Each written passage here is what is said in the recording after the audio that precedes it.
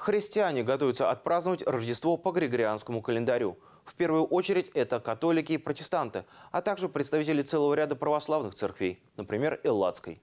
В Твери главным местом торжеств традиционно станет храм Преображения Господня на Советской улице.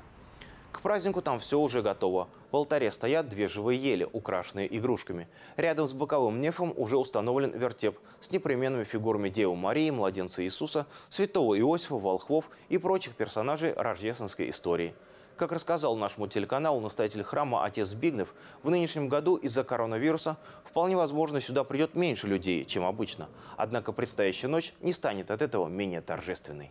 Рождество – это прежде всего семейный праздник.